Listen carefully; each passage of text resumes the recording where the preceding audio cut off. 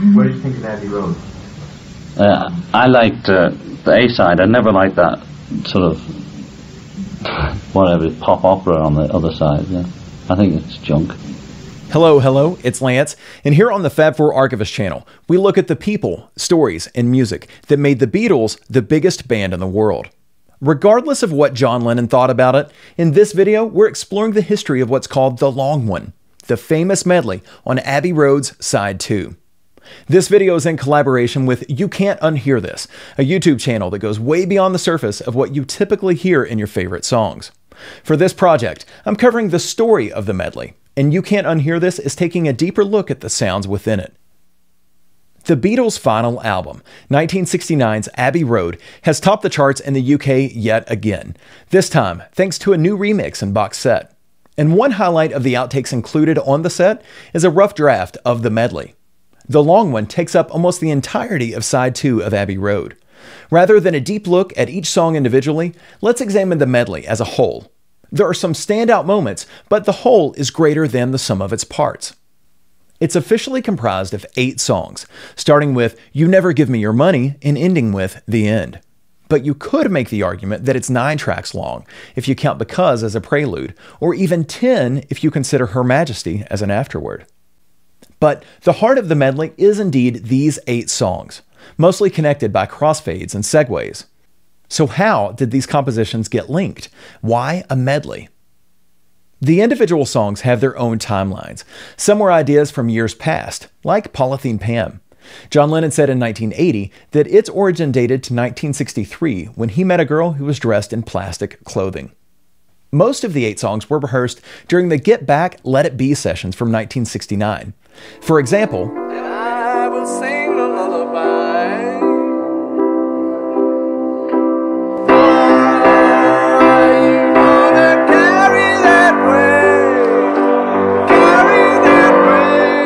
And the medley is full of fragments of songs, especially Lennon's contributions. Ringo Starr said in Anthology, None of the songs were finished. A lot of work went into it, but they weren't writing together. John and Paul weren't even writing much on their own, really. So, what to do with these bits? All four Beatles would have been familiar with most of them, having heard them scattered throughout recording sessions, demos, and jams. Had they been completed, ready for tape songs, they would have been contenders for the Get Back project. After the January 30th rooftop gig, the band only took about three weeks off before starting work on what would become Abbey Road. Tracks like I Want You, She's So Heavy.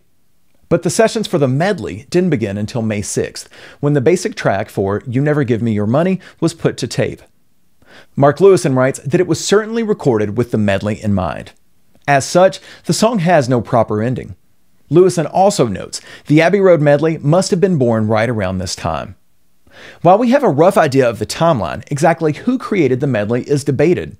Paul McCartney was certainly at the helm, and sometimes producer George Martin is credited as well.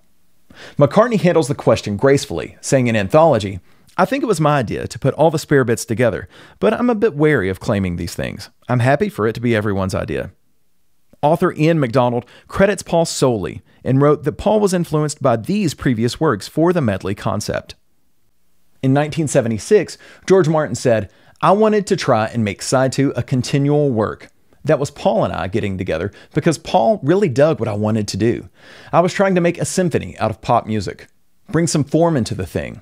John hated that. He liked good old rock and roll. Martin certainly did put his heart into this project, writing and conducting the lush orchestral accompaniment that is highlighted throughout.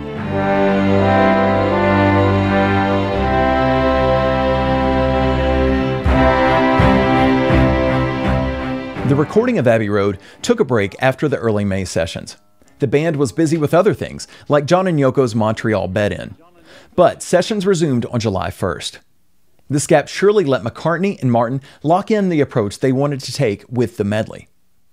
Back in the studio, the band's work on the medley would ebb and flow. While we hear things in a set order on the album, the recording sessions intertwined. Oh Darling one day, Work on the End the next. But on July 30th, a rough mix of the newly recorded medley tracks, nearly in their final order, was made. This is what's heard on the new box set. It has some rough transitions between songs, and it's still missing some overdubs, minor vocal changes, and George Martin's score. But it's hard to imagine the band wasn't ecstatic with this first draft. From this point, there were two major changes that would happen to the Abbey Road album before its release. The first was Her Majesty. Originally, the song was in the middle of the side 2 medley between Mean Mr. Mustard and Polythene Pam. This is common knowledge among die-hard fans. But the long one, as presented in the new box set, will be the first time most people hear it. But why did the song get moved to the end of the album? Well, it wasn't even supposed to go there. After the draft mix was compiled, Paul McCartney instructed tape op John Kurlander to cut the song completely and edits were made to create a transition from Polythene Pam to Mustard. But Kurlander, aware of the value of any Beatles song, instead affixed Her Majesty to the tail end of the reconfigured medley. This 15, 20 second piece of tape was lying on the floor, and I thought, no, you, you mustn't throw it away. And so I ran off about 15 seconds of Red Leader, and I just put it on the end. And I put the note saying, this song not wanted, but keep after the red leader for for safety. And I sent it off, and the next morning it went to Malcolm Davies, who cut the acetate. When Paul and John and the others heard it the next day, they they had such a surprise when they heard this thing at the end. As for why the song was cut from the medley, the official word is that the Beatles just liked it that way.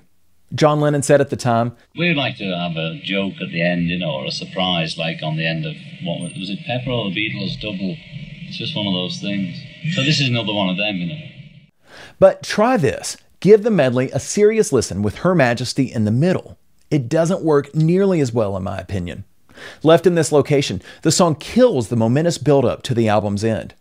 There's beauty in the plainness of the track, but surrounded by full band and orchestrated tracks, having this song in the middle of the medley feels like going from a rock concert to the library. Removing it was the right call, and the Beatles were rewarded with the happy accident of its eventual placement. The other last minute change was even bigger, at least as it relates to how we listen to the album. Here it is side one and side two were swapped. Kind of mind blowing, isn't it? Instantly, there are questions. The hidden Her Majesty aside, why would the band end side one with the end? Throughout this video, what I've been calling it the side one medley, I've got to be honest with you.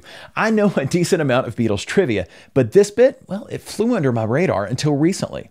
I'm only human, and in this humanity, I'll admit it was really fun learning something brand spanking new about my favorite band and this album. But on paper, we've known this factoid since at least 1988 when Mark Lewisohn printed it in recording sessions. And he also includes this in his stage presentation on Abbey Road, Hornsey Road. I'd love to hear your thoughts about this in the comments. I think the final order was perfect, but hindsight's 2020. Anyone want to make the argument for swapping the two sides? I started this video with a John Lennon quote about Abbey Road from 1971. He commented on it again in 1980. Abbey Road was really unfinished songs all stuck together. Everybody praises the album so much, but none of the songs had anything to do with each other, no thread at all, only the fact that we stuck them together. John Lennon's disappointment in much of the Beatles' output is well known.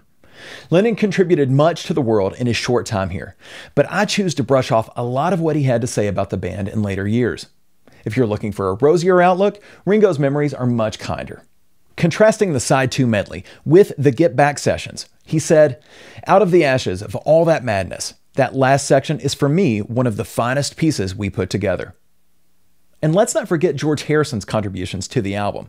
Something and Here Comes the Sun are praised, but he was instrumental in the guitar work and the vocal sound of the long one. About this process, he said, During the album, things got a bit more positive, and although it had some overdubs, we got to play the whole medley we did actually perform more like musicians again. Lennon may have dismissed the side 2 medley as ear candy, but it closed out the band's recording career in an unforgettable way. Unlike artists who fizzle out toward the end, Abbey Road feels like it's picking up steam the entire way through, until the ride's over and the final notes of the end fade away.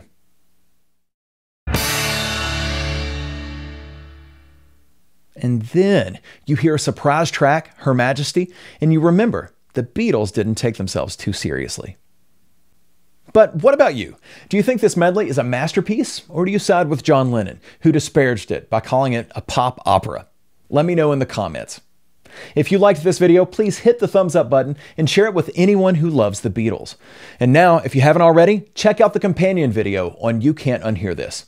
Thanks for watching.